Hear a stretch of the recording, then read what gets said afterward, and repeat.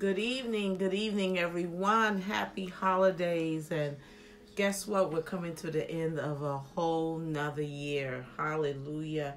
We Christ has brought us through five more days before the end of 2019. And of course, the season of 2020 will begin.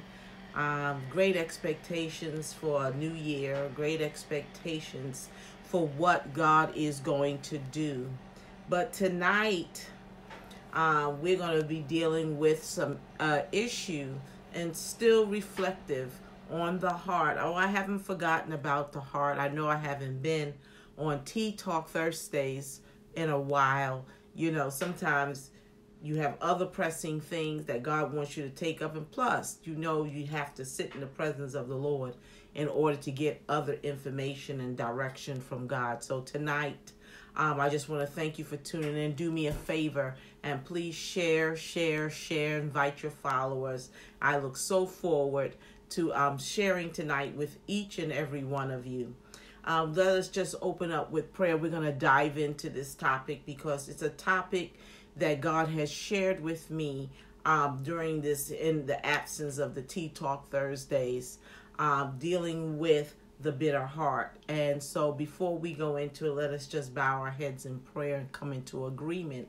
Father, we thank you and we bless you and we exalt your name right now.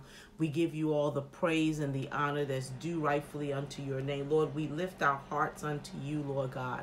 We ask, Father, that you just examine us, Lord God, and if you find anything in our hearts that does not resemble you, any emotion, any guilt, any um, bitterness that's in our heart, Father, we lift that bitterness up to you, Lord God. We ask that you pluck out every root of, of, of discontentment, every root of anger and bitterness that could reside in our heart and go deeper into our soil of our souls, Lord God, so that we will not be able to bear forth the fruit that you have caused us to do. We're entering into, Lord God, a new year, and we need to enter into this year with a clean heart, Lord God.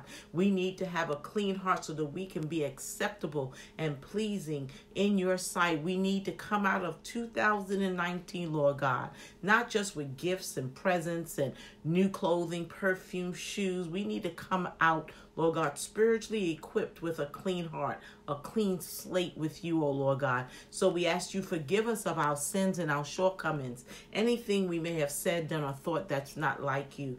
Lord God, we even bind that that you will continue to create in us a clean heart and that you will bind the hands of the enemy that would keep us from make keeping us from clearing out those areas that might be con- that might be attached to us that would try to sneak its way into 2020. Any type of unforgiveness, any type of malice, strife, or jealousy, envy, Lord God, any resentment or anger, anyone, Lord God, that we have as a root in our hearts, Lord God. We ask that you reveal it even on tonight, even as they sleep through the night. But don't let 2019 end, Lord God, without you dealing with our hearts. And we thank you and we praise you, Lord God, even now. In Jesus' name we pray.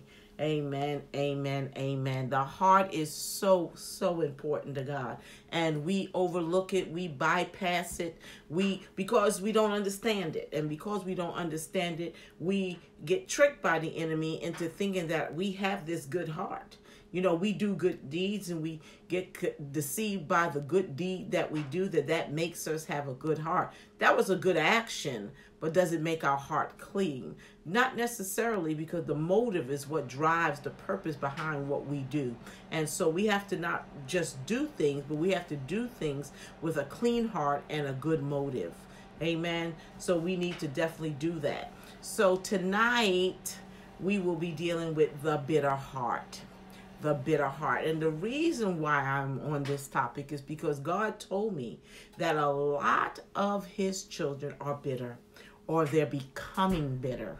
They're mad with him based upon things they thought that he should have done or handled another way, but has yet to do it the way that they thought how. It's important for you right now to share this broadcast with your friends. Create your watch parties, create, send it to your relatives, send it to your uh, Facebook friends, Instagram friends, because this is our end of the year Tea Talk Thursdays, and we want to make sure that we give you the word of the Lord. And what God is commissioning His children to do is to exit out of this year, ensuring that their hearts are anchored and clean with Him, because that's what matters most. No matter what we have planned, how much food we've eaten, I know a lot of us are still eating over left eating leftovers from yesterday and Christmas has passed and returns took place today and we're making great New Year's plan.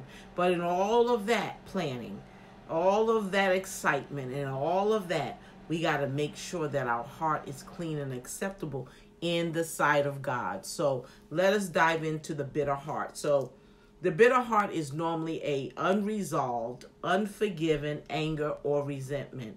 It is the result of anger changing from an experience to a belief. Okay? Bitterness is seething and constant. Bitter people normally carry the same burden as angry people do. Now, most people don't know that, that angry people and bitter people carry the same burden, but to a greater extent is bitterness. Hey, what's up, Kelly? Wave, wave, wave. How are you doing, love? Please share, share, share. Glad to see you. When you are offended or disappointed by others and you allow the hurt to germinate in your heart, then your heart and can produce bitterness and resentment has an opportunity to take root. Okay? So whenever we're offended or we are disappointed by others, we allow the hurt to germinate in our heart and bitterness and resentment can take root. So it is very important that we don't let the root of bitterness take a root in our heart. And most of the time, it is characterized by an unforgiving spirit or generally negative critical attitude. Bitterness and resentment are sinful and self defeating. So when you allow that um, anger and you allow that disappointment or that offense to begin to germinate in your heart, it, it partners with the unforgiving spirit. And it generates a negative critical attitude and then bitterness and resent, resentment set in. They are very sinful and they are self-defeating. So we know that bitterness and resentment are what? Sinful and self-defeating. They will color our consciousness and our unconscious thoughts and actions. They are allowed, if they are allowed to fester, they will destroy and they will kill. However, there's only one way to dispel this bitter root, and that is with love. So, in order to get that bitter root out, it has to come through love. And love is not just, I love you, it has to be an action. Christ is the example of love the sacrifice that he made. It's a letting go of what is inside of our heart. So let's look at some scripture because you know I'm big on scripture. So let's look at some scripture that surrounds this. We're going to look at Hebrews 12, 14 and 15, where it states, Many make effort to live in, make every effort to live in peace with all men and be holy. Without holiness, no one will see the Lord. So to it that no one misses the grace of God, that no bitter root grow up to cause trouble and defile many. So, in order to live peacefully with all men and to be holy, because without holiness, no one sees the Lord. Now, you've heard that scripture. Without holiness, no one sees the Lord. See to it that, here's the second part that's important to that See to it that no one misses the grace of God and that no bitter root grows up to cause trouble and defile many. Okay? And and that many because bitterness is a root that doesn't only affect you, it'll affect anyone and everyone around you. Ephesians 4 31 and 32 says, Get rid of all bitterness rage and anger, brawling and slander, along with every form of malice. Be kind and compassionate to one another, forgiving each other just as Christ has forgiven you. So you see here how, again, I mentioned that the unforgiving spirit couples with bitterness because forgiveness is important to the release of that bitterness. Because once you're offended and once your disappointment, bitterness starts to form in it if we let it germinate, set root, continue to fester in our heart. Going on to 1 Peter 2 and 23. When they hurled their insert when they hurled their insults at God, he did not retaliate. When he suffered, he made no threats. Instead, he entrusted himself to him who judges justly. So, at this point, for all of us, including me, at point where we feel the need to retaliate, we shouldn't. What did he do? He suffered. When we, uh, when they made threats and they uh, uh, insulted him, what did he do? He entrusted himself to whom? The, the real judge, who is who is God and God alone. Jesus says in Luke 23, 24, Jesus said, Forgive them, for they know not what they're doing. Then we go on to Matthew 6 14 and 15. For if you forgive man when they sin against you, your heavenly Father will also forgive you. But if you do not forgive men their sins, your Father will not forgive your sins you know, forgiveness is not to be taken lightly. It's not just a bunch of words you say. That stuff has to come from a heart posture. You have to have the heart to really forgive whoever has offended you and who has disappointed you because failure to do so, as I stated early, it will, thank you, Kelly, for sharing, it will fester into your heart. It will germinate into your heart. And that bitter root starts coming in. Then he goes on to Romans 12 and 14. He says, Blessed those, blessed are those who persecute you. Bless those who persecute you. Bless and do not curse. Rejoice with those who rejoice. Mourn with those who mourn. Live in harmony with one another. Do not be proud, but be willing to associate with people of low posture. Do not be conceited. Do not repay anyone evil for evil. Be careful to do what is right in the eyes of everybody. If it is possible, as far as it depends on you, live at peace with everyone. Do not take revenge, my friends, but leave room for God's wrath. For it is written, It is mine to avenge, avenge, I will repay, saith the Lord. On the contrary, if your enemy is hungry, feed him. If he's thirsty, give him something to drink. In doing so, you are heaping coals of fire on his head.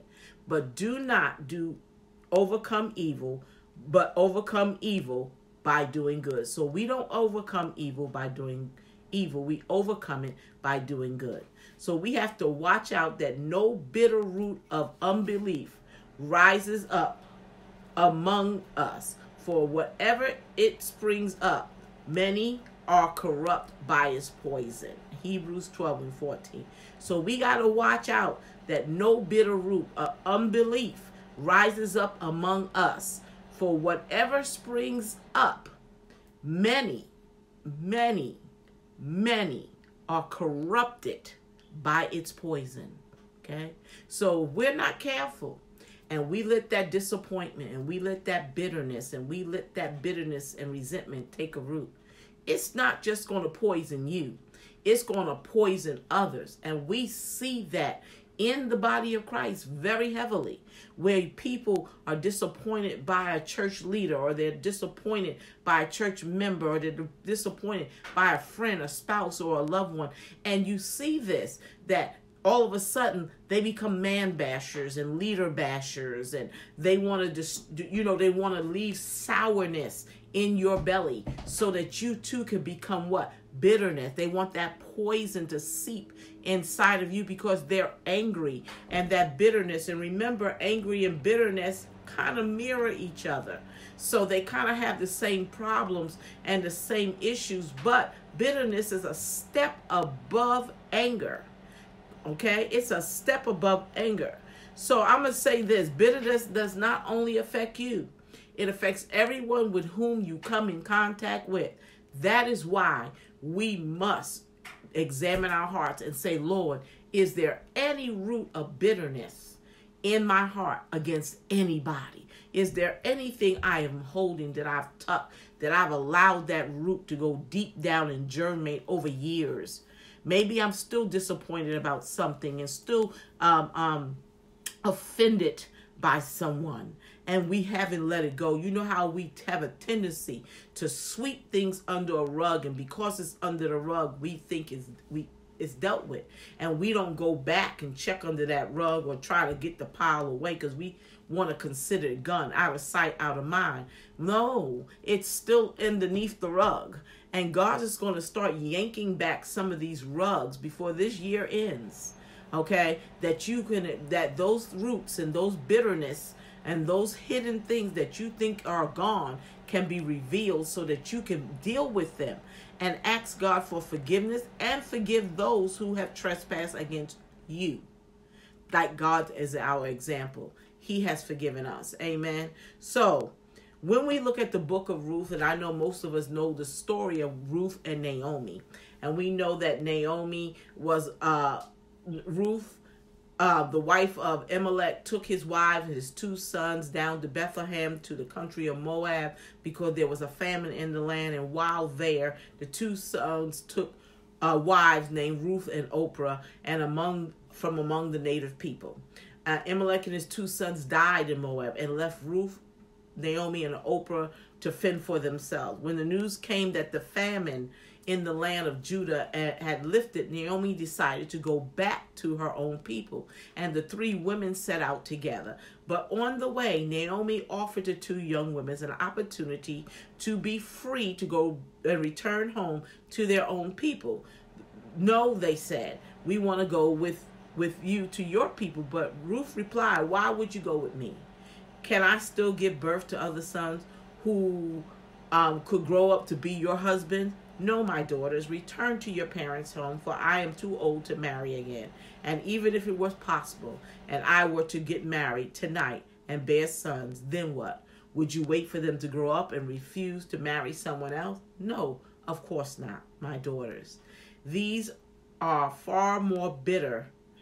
Things are far more bitter for me than for you, because the Lord Himself has caused me to suffer. That's Ruth 110 and 15. I was zipping through because it is a little bit of a long story, but I want to focus on the fact that she said, These things are far more bitter for me than for you because the Lord Himself has caused me to suffer. Okay. Why did Ruth change her name? When they came to Bethlehem, the whole town was stirred by their arrival. Is it Naomi, they said, and she said, Don't call me Naomi. She told them, Instead, call me Mara. Mara means bitter. For the Almighty God has made life very bitter for me.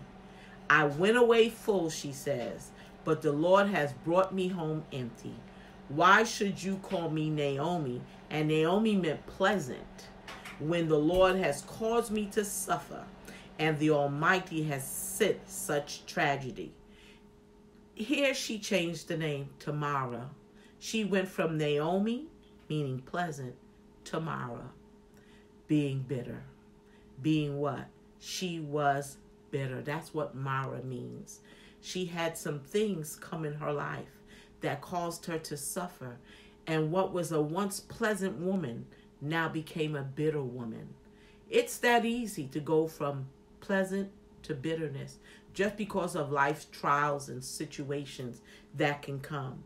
What do you suppose it was that caused the whole town to stir? Could it have been Naomi's appearance?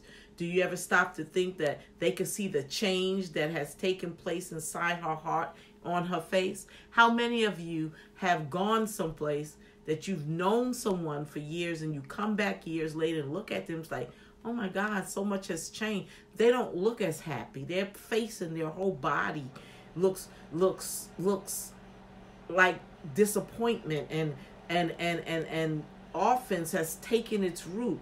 Do you know when you carry those things, it takes on a look in your physical appearance. You begin to look it just like depression. Depression has a look. You can be depressed and start wearing it. I always tell people we wear what we are. We wear outwardly how we're feeling. When we feel beautiful we feel loved, that shows in how we carry ourselves. It shows in our attitude, it shows in our character, it shows in in in our nature, okay? But this here we have a woman who was once pleasant. She didn't leave that way, but she came back what? Depressed. She said, Things are far better for me than for you, but the Lord Himself has caused me to suffer. And call me Mara, for the Almighty God made life very bitter for me. She says she went away full and came back empty. Naomi blamed God for making her life bitter and empty. All she could see was what she no longer had, and that was what she loved. Her bitterness reflected a heart of unbelief in the justice and the sovereignty of God. She held on to the anger for what had been done to her and stood in judgment over God. In the entire text, we see nothing of Naomi's quest to understand the purpose of God in her suffering. We only read that she was angry and bitter for what she had lost. We must understand the, the the purpose of God in our suffering. And sometimes we don't know why we go through what we go through. But instead of getting bitter, we need to fast and we need to continue being in the presence of the Lord to find out, Lord, why must these things be?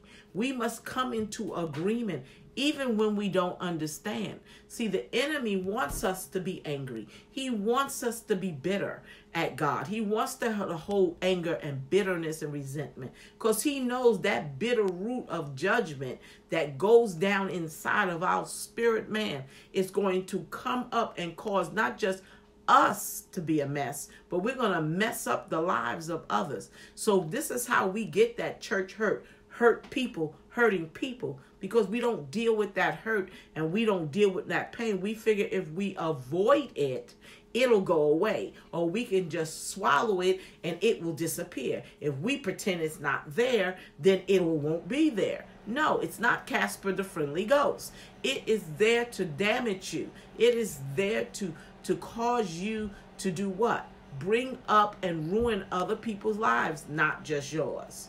Now, perhaps you struggle with some type of business. Sometimes women and men who have lost children to illness or accidents blame God for their loss. God, how could you take my beloved child from me? Do you not know how much I loved him and how could you do this to me? Look, I am no stranger to the loss of a child. Okay? In 2009, my son was shot and killed. I had a choice to become bitter and angry and resentful to God. I don't understand why God allowed it, but I wouldn't have understood it if I, at the time, all I know is that God is justice is good. His no is good. Everything about God is good. I could be angry and bitter with God with resentment, and I could want to be the opposite of Job and want to curse God and blame this thing that God ain't real and all of this stuff. I can turn my heart away from God. I can go to the forms of church just to have to go, but in my heart, I still have lodged in there that bitterness. We have got to begin to um, allow God to clear us from that bitterness. We have got to do that. Okay, suppose you had an abandoned spouse may become bitter as they wonder, God did do you see how much I'm struggling to raise these kids while he's out there living the high life? You know, we have marriages where the, the wife is home and she's trying to raise the kid and the husband is not as supportive or helpful. He's out there doing it and doing it and doing it well. He's out there doing it, right? How can we, how could God just let him get away with this? Oh, let me raise my hand here because I've had that type of husband. While I was home raising the kids, he was out there living the high life. And I couldn't understand then How did God let him get away with it? And I'm I'm the one here who's being faithful, and now I'm the one that's miserable because this is what has been allowed. And you start to think, do God care about me? Then if he did, why are you punishing me? That's how it could be. There are many people who don't understand why God has allowed certain things and they feel punished. And I remember what God said to me in this situation. He said that marriage wasn't about just you and him being married. It was about building you. Sometimes God chooses, I call him unique utensils of life to help build us to where he needs us to be. Okay. Then you got, say for instance, there's an honest businessman. He sees a crooked businessman prospering while he's while he flounders. God, how can you stand by and let this happen? I'm an honest businessman, my but my business is failing. How can you just let him get away with such thievery? I have a wife and kids to feed. God, why are you doing this to me? Okay, we all have these questions about why God. Dude, come on, we we're in the world. Do we not see sometimes the wicked prosper? It looks like the wicked is getting more than the children of the church. That sometimes we see the wrong that others do, and we're sitting here tr- trudging in, you know, you know, trying to live right, do right, obey the Lord, seek His face. We try to do all of that, and all of a sudden, all of a sudden, here comes God. Okay? And God is doing nothing. And it seems like the wicked, the wicked is prospering. And here we are in the church, and we are not prospering the way we think that we should be. And yet, here comes the enemy planting seeds, okay? Seeds of doubt, seeds of, of confusion, seeds of resentment and, and harboring of things into our heart. We have to get out that bitterness and that resentment from God. So you can have a childless couple and they're bitter when they see families with several kids and they cannot seem to have one. God, why don't you let me have even one child when others other people have children? It's unfair. Sometimes you see children being aborted and abandoned. And here you are, a loving woman and a loving man trying to have a family, and you can't. And then you see this. And we see it every day. I work for the school system, and I see it every single day. Children neglected, children um, malnourished, children not taken care of. And yet, I know people that can't have any. And you're looking like, well, God, why are you doing this to us? We, you can become bitter out of a uh, out of a belief that God will not punish the people who hurt you, that God does not hear your plea, or that He does not care about your plight. That is not true. Okay, as I stated before, some of these situations I've said to you, except for the childless couple, I've been in. I've been in these situations and I can become bitter, I can become resentment, but I refuse to let that bitter root take down in my in my soil of my heart so that it winds up hurting and and discouraging and and causing pain to other people. We have to choose to have a clean heart. We have to choose to seek the lord for those things that we do not understand some we don't. We always ask, why do good things, bad things happen to good people? Okay, that's another topic, and we'll discuss that at another time. But it does sit, and, it does seem that way sometimes. It does appear that way to us when we think that we are doing all that we can right, and yet we see the wicked prosper, or we see the uh, unjust and the unfaithful and the unloyal come in, and they end up. Um, um, prospering ahead of us, you know. So we since God is is apparently sometimes we feel that since God is apparently not going to intervene in our circumstances, we we start to stand in as a judge and a jury and an executor in the lives of other people. So when we don't see God moving, we take matters into our own hands. We begin to step in. And we begin to be the judge of it. And we begin to be the jury of it. And then we begin to be hey Ercy how are you baby? Thank you for tuning in. And then we begin to be the executors in the lives of other people. That's how we become judge and jury you know, because we're bitter. Maybe our marriage hasn't worked out. Maybe we didn't marry the right spouse. Maybe we didn't get what we thought we deserved, or maybe something tragic happened in our lives and and the enemy sets in and we got uh, unforgiveness and offense in the way. You know, we got to get rid of that. You know, we got to get rid of that. So we have to end 2019 with a clean heart. So we need God to say, hey, examine my heart, Lord, because only God knows what's really tucked in it. The heart is like the carpet. We like to sweep things under and pretend they don't exist anymore. But meanwhile, there's a pile underneath there, and there's a big lump in the in the carpet that we walk around and we just don't address. We have to. It becomes a circular pattern. The more we dwell on what has has been done to us, the injustices that we have suffered, or the loss that we have occurred, the deeper goes the root of bitterness. That's our topic, the bitter heart.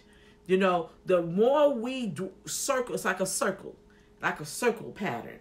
The more we dwell on what has been done to her, us and the injustices we have suffered and the loss that we have occurred, the deeper goes the root of bitterness. You already know what's carrying around a load of bitterness is. It's exhausting. If you keep carrying that bitterness, you're going to feel heavy. You're going to feel weighted. And so we be get exhausted carrying that stuff around. It is so much easier to be free than it is to be heavy um, to be bound. Bitterness hardens our hearts on the inside and the features on the outside. So we begin to look exactly what we wear. So what you wear on the inside, how you feel on the inside shows up on the outside. Okay, if you feel ugly, guess what you're going to look?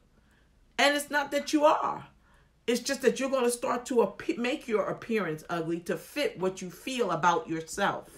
So whatever's going on on the inside of you, you begin to put on a natural garment too. Amen.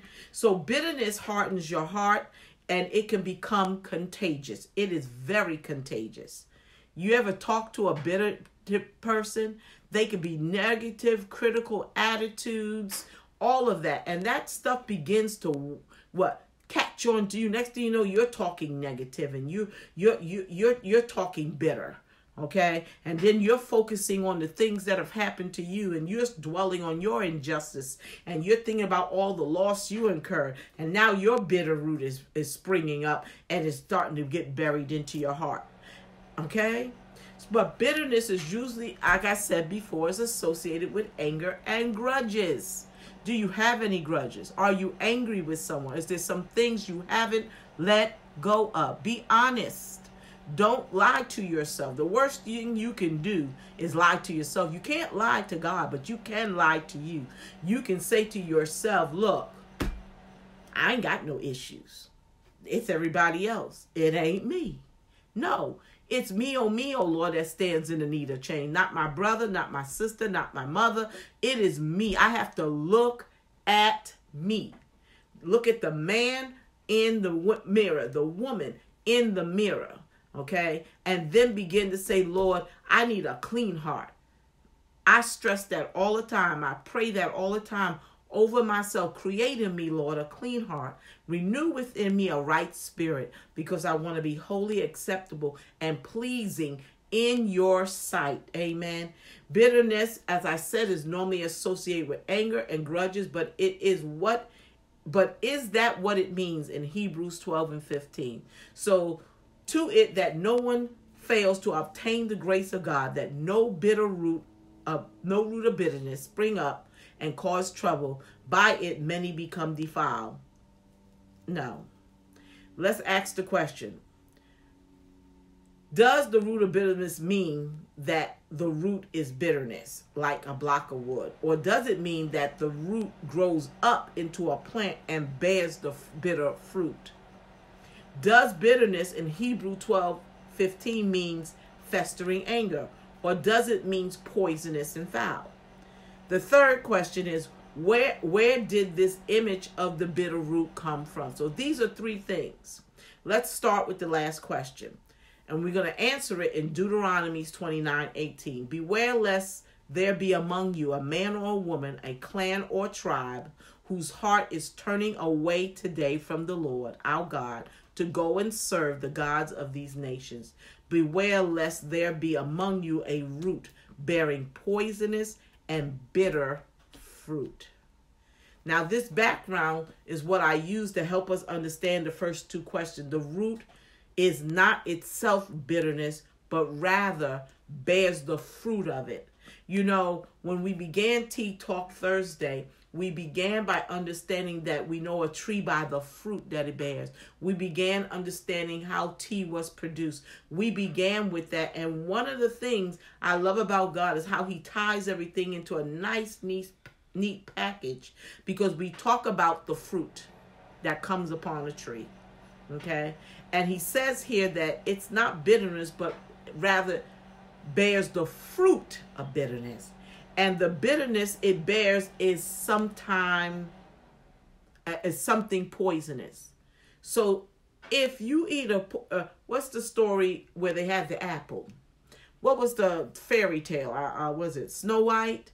Was it snow white? And the, the the evil witch or whatever she was she presented a apple and it was poisonous. And she bit into the apple okay? So that was a fruit of bitterness. It was poisonous. Okay? That's what we do. Okay? The bitter fruit make is not going to fester just anger. And it says here that um the bitter fruit is to sprout. It sprouts up. It's a fruit that comes into our life we we begin to adopt that fruit of nature that fruit on our tree and everything on that tree is poison anyone who comes near us and eats of our tree eats that poison that we spread through conversation, through um, um, words, okay, through actions or deeds. That's how that that fruit poisons the many that is around us. The question, the key question is this: What is that root that causes deadly bitter fruit to sprout in the church? Now here we go. I'm talking about the church now. The next verse is Deuteronomy next verse in Deuteronomy 29 gives that surprising answer. But it fits perfectly with the book of Hebrews as well. So Deuteronomy 29 18 ends this. Beware lest there be among you a root bearing poisonous and bitter fruit. Then verse 19 begins by defining this fruit.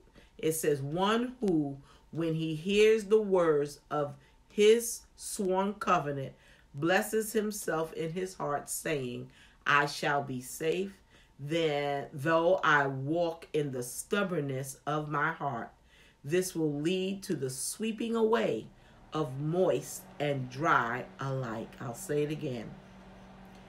One who, when he hears the words of a sworn covenant, blesses himself in his heart saying, I shall be safe, though I walk in the stubbornness mm, whew, of my heart.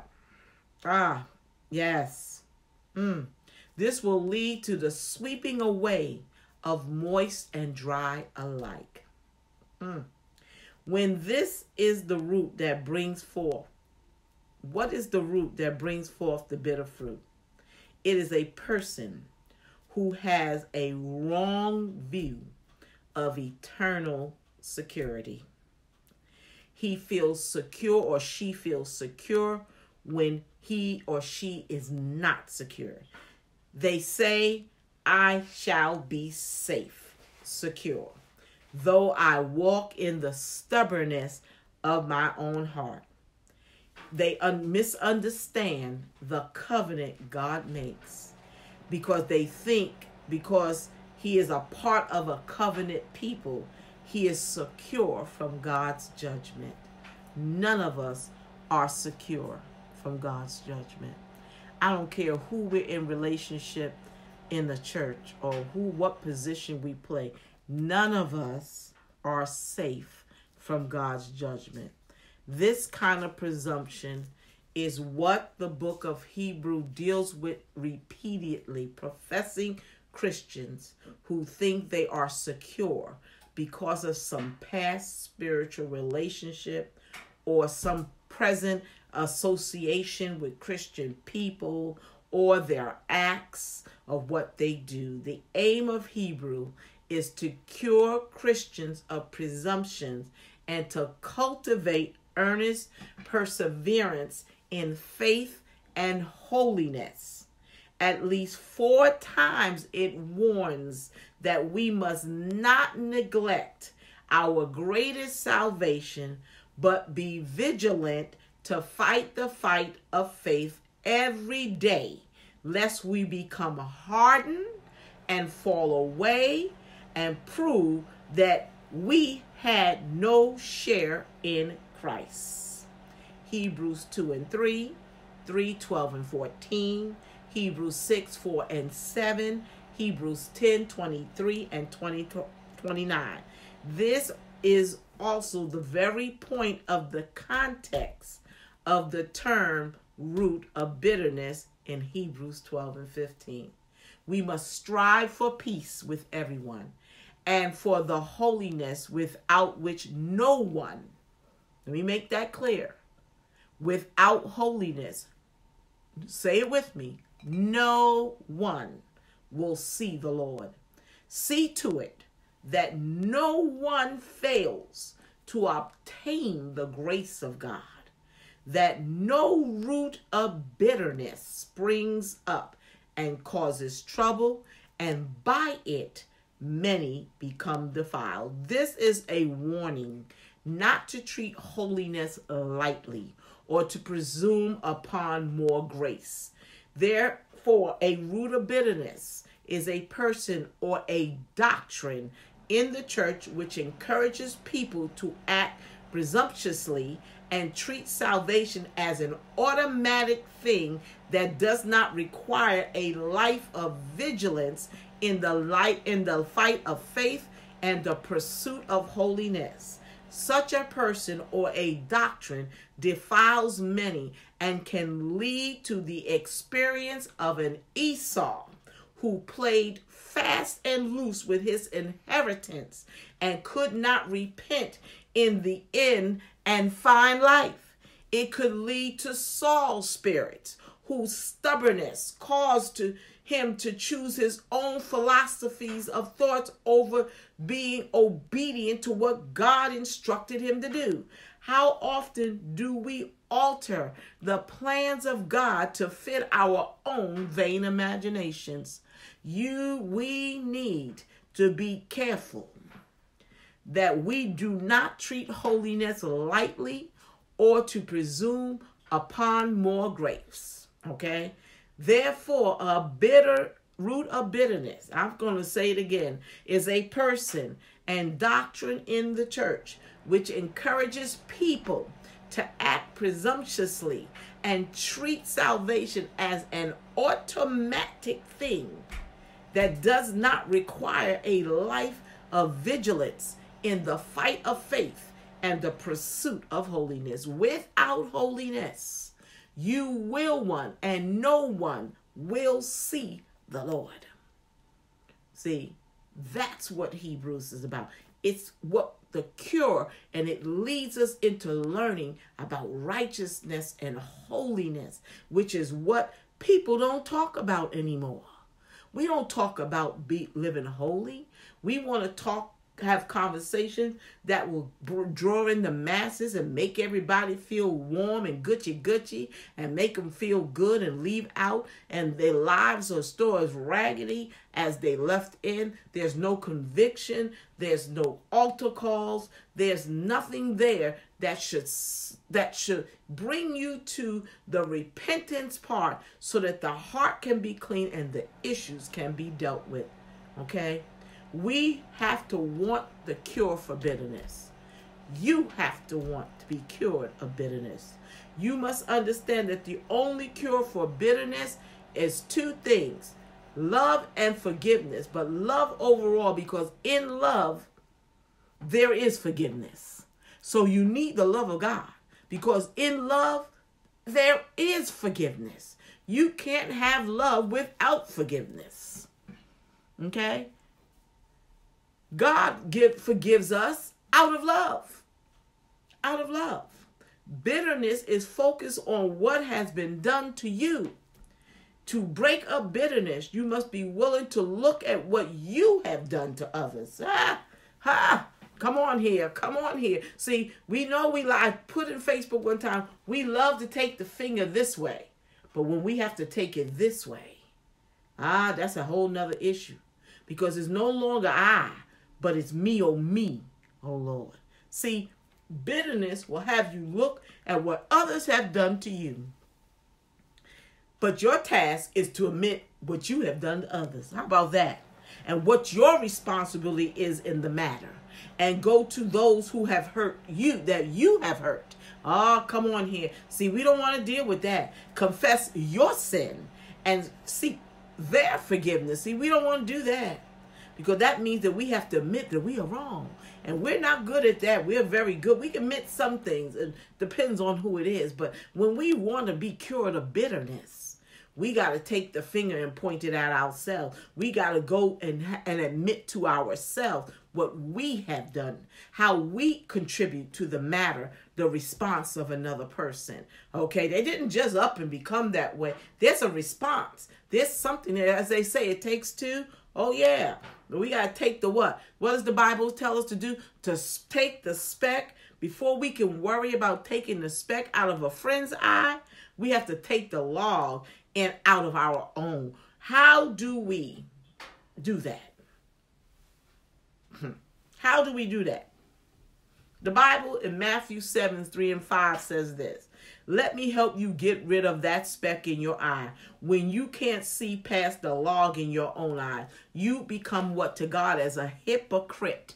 First, get rid of the log from your own eye, then perhaps you'll see well enough to get rid of the speck in your friend's eye. Some of us, mm, some of us, mm, some of us are so busy cleaning out the eyes of someone else when we haven't dealt with what is in our own eye. Okay? We need to deal with ourselves. So before 2020 comes in, I suggest we all take these next five days of grace because that's what's left. Five days of grace. Ah, oh, I love it. I love it, Lord. Speak, Holy Ghost. Five days of grace. And use those five days of grace to say, examine my heart help me forgive. And if I have to get anything right, help me get it right. Because I want to come into 2020 not looking for just a blessing, not looking for a vision, not looking to be prosperous, not looking for money in the bank, you know, because that's what the new hype is. I'm going to be prosperous in 2020. If you are, you are. You're not, you're not. But the point is, I want to be prosperous in 2020, but my first set of prosperity should start with my heart. I want my heart to be prosperous. I want my heart to be clean because having a clean heart is priority. See, I can be prosperous and still have a heart of wickedness and a heart of bitterness and a heart unforgiving. And that stuff will leak into my prosperity. I want the money or whatever it is God has for me to come into clean hands that have a clean heart. Let us get this right for real. We got five days of grace. And I, I, I'm to say, and I challenge everyone who tunes in now and will tune in later to get their heart clean in five days of grace. Five days of grace. I'm to say it again. Five days of grace. The examination begins right here at home. Start with yourself Seek God's help in revealing the contents of your own heart in relationship to how you have sinned against others. We are so focused on what someone has done to us that we do not look at how what we have done to others. See, we don't want to look at our own faults and our own shortcomings and our own sins. We want to point the finger always at somebody else. We need to say this scripture in Psalms 139 and 23 to 24 Search me, O Lord, and know my heart. Test me and know my thoughts. Point out anything in me that offends you, God, and lead me along the path of everlasting life. That is the prayer. Memorize that verse for the next five days. Psalms 139, 23 to 34. Search me, O God, and know my heart. Test me and know my thoughts point out anything in me that offends you and lead me along the path of everlasting life. There needs to be a willingness on your part to forsake your sin of bitterness. There has to be a willingness on your part to do that. Get rid of all bitterness, rage, anger, harsh words, slander, as well as all types of malice behavior, and be kind to one another, tender-hearted, forgiving one another, even as God in Christ forgave you. Ephesians 4 31 and 32. I'm hyped up now. I don't work myself up into a frenzy because we you know bitterness is like depression and other emotional stress bitterness and resentment can um, aggravate or cause physical problems such as arthritis. You can be affected mentally, spiritually, and otherwise. Your relationships will always suffer. God can free you from this sin. It is an oppressive and destructive emotion having its root in hate, which is likened to murder. You must repent. No one can have peace and real happiness with such emotions tearing at them. If you do not if you have not done so, ask God to forgive you and come into your life right now. He can deliver us from anything. Before I leave, let us have a prayer. I want you to pray with me as you're listening even now. Father, I acknowledge that I have held resentment and bitterness against, and you fill in the blank. I don't have to fill in the blank. Call out their name. Father, I acknowledge that I've held resentment and bitterness against, and put all the names that you can think of. And I confess this as sin and ask you to forgive me. I forgive. Now put all the names of the people that you can that God drops into your mind right now, right now, right now. Come on. I know God is speaking to some of you tonight. Remind me, Lord, to not hold any more resentment, but rather to love this person. Father, I ask you to also forgive and fill in the blank. Okay? So I left you with three blanks here. Father, I acknowledge that I've held resentment and bitterness against, fill in the names. I confess this sin and ask you to forgive me. I forgive, fill in the blank. Remind me, Lord, to not hold any more resentment, but rather to love this person. Father, I ask you to also forgive and fill in the blank. Okay? For the five days of grace, starting tonight, I'm I, I challenge you to let God deal with your heart, to let God show you your heart, to let God clean your heart. Let God help you with those unforgiving um, people, those people that you have not been forgiving to. And also, let God tell you who to go and ask for forgiveness from. Okay? That's the harder challenge. I think that's it's easy to sit up in my room or to sit up in the kitchen or sit up in the living room or sit up anywhere and say, Lord, um, I know I did wrong to such and such. Lord, forgive me for what I did or what I said or what I've done to such and such. It's much harder to go face to face with someone. It is, especially if you can, especially if they're still living. These times ahead, we need to make sure our slates are clean. Every day we go out in these streets, and every time we turn on the TV, every time we hear about lives uh, uh, uh, being taken, we no longer can afford to be in a position of having an unloving spirit, an unclean heart with dirty hands. Let's enter into 2020 clean. Let's enter into 2020 clean. And I don't care how many celebrations we go to, how well the meal has been prepared, and how much food you endured, and how many wonderful gifts you got. If your heart ain't clean, it won't even matter. It won't even matter with God because God is not going to consider your new your new TV. He is not going to consider your new home, your new car, your new this. He's going to look at your heart. He's not looking in your apartment. He's not looking at how beautiful your Christmas tree was. He's not looking at the food you prepared and how well your macaroni and cheese was or how good your ham or whatever it was that you had. He's not looking at your New Year's Eve outfit. He's looking at your heart. No other person knows your heart, and you need to let God reveal it to you. I appreciate you all for tuning in tonight. I pray that you will go back and catch the replay and share it. Consider having watch parties, whatever God leads you to do, because He wants others to hear this message and leave out of 20 out of 2019 with uh, uh, with with all their issues dealt with, with their unforgiveness and and their bitter roots and their resentments and angers, all and malices dealt with. He wants us to come into this calendar year, 2020, clean, hands and heart. Thank you again for Tea Talk Thursday. This is our last Tea Talk for this year. We'll be coming back in 2020 where God will lead us and what the topics will be, we'll never know until God puts it on our heart. Amen. And we will do so. I also want to you invite you into what's coming into 2020.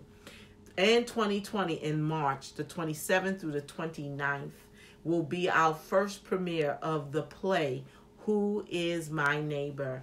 And it has been it's under DoveStar Productions. We have a wonderful cast we will be giving more information coming into the new year as to where you can purchase tickets and um, the ticket costs. And so we look forward to all that God is going to bring to you in 2020. But most of all, that you're going to end the 2019 positioned and postured for what is coming in the 2020. That's what this is about. Positioning and posturing you in the right areas, which is the heart, for 2020. You have a blessed evening. Have a safe and happy new year. And to some of you, a good night. Bye.